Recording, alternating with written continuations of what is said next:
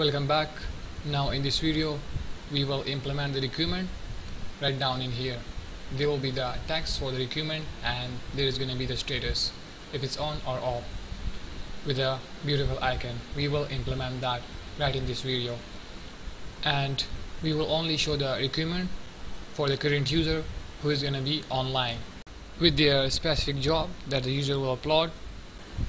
So now let's go and start working on that so right down in here below this row in here first we will create an instance firebase auth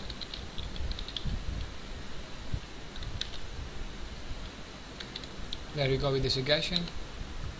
Dot instance we are creating that instance for the current user. As I tell you who's going to be online with their specific UID and then we will say if that not equal to in here we will say widget dot uploaded by.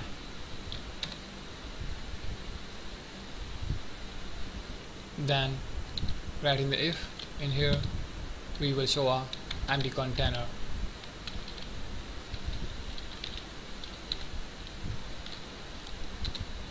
Now right in here else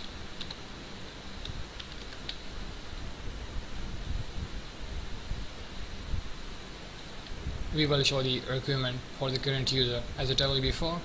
So right in here we create that instance. As you guys can see right in here Firebase auth authentication for the current user with their specific UID and we will check that if that not equal to the widget dot uploaded by then we will simply write in the if show the empty container. And if this is going to be uploaded by the current user it simply means that if that current user with their specific UID if that equal to the widget dot uploaded by. It simply means that if that job is uploaded by the current user only in that case we will show the requirement for that current user who's going to be online. And that's going to be right in the else. I hope you can get the idea now. Let me tell you one more time. If that current user with their specific UID not equal to widget dot uploaded by it simply means that there's not going to be equal to the current user who's going to be online.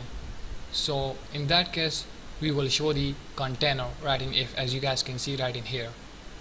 And if the current user with the specific UID is that equal to the widget dot uploaded by it simply means that that is going to be equal to the same current user. So only in that case we will show the requirement right down in here with their status on and off.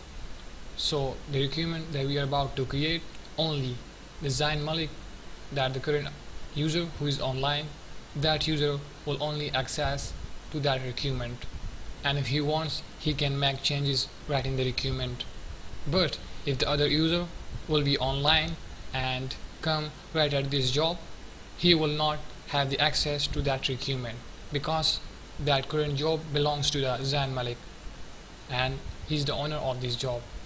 That's why right in here we wrote it like that. If the other user can we will show the empty container. And if it's going to be the same user then we will show the requirement right in here in else. So let's work further. In here we will uh, have a column widget. In here comma tag is down. First we will set the property cross axis alignment. It is going to be right at start cross axis alignment dot start now remove that. In here we will have a children right in the children. We will make a divider and you guys already know we implement the divider widget okay so in here we will call upon that right in here. As you guys can see the suggestion.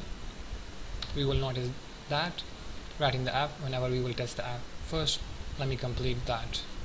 Now let's move further. Now we will show the text so in here text widget.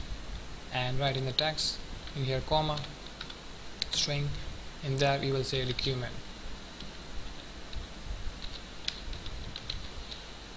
that's the text and now we will do some style for that as usual text style first we will set the font size. We're gonna set it to 18 and also let's give a color. Colors we will go with the white. Now let's set the font weight for that. It is going to be bold so font weight dot bold in here comma. Scroll down.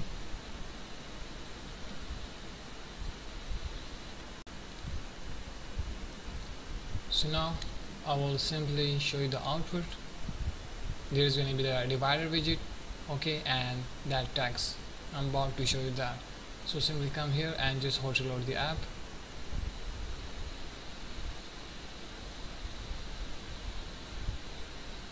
we are on the job screen now. Now we will simply go towards the job detail screen. Clicking here and there we go with the requirement text and there we go with the divider as you guys can see right in here. So it's working fine. Now let's move further. As I told you before we're gonna create the status on and off. So for that right in here in the row in this card is gonna be a little down in here okay? We will create some height just in a while and then we will implement that text button for on and off. So let's go and work on that. First let me have the size box in here. So there's going to be the height. We will give it to 5 so in here press the control S and there we go with a little height so we will have that text button for on and off. It's going to be right in a row in here and in here. It's going to be like that right in this card. So below this size box in here we will say row widget in here comma and tag this down. First we will set the main axis alignment. We're gonna set this to center. Okay it's gonna be right in the center. And we will say children right in the children will have that text button. It's going to tag the on press event and also as you guys can see here the chart. For now we will just remove that. You will add it one by one. So in here comma and tag this down. First it's going to take the on press as you guys know already. For now we will leave this on press event empty. First we will complete the UI design for that text button. Okay now down in here we will say child and right in the child we will have a text widget. The first text button that we will create it is going to be for on. So let's go with the text we will say on. And let's do some style for that. So as usual text style. And first we will set the font style. Font styles gonna be dot italic that one. And right after let's set the color for that. So colors we will go with a black. Comma scroll it down.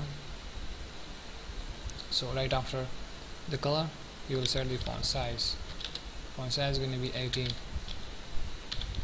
now we will set the font weight. It is going to be font weight we will go with the dot normal. The comma all fine. Now just simply press the control S and you guys will notice that text for on. Control S. There we go with the on text button okay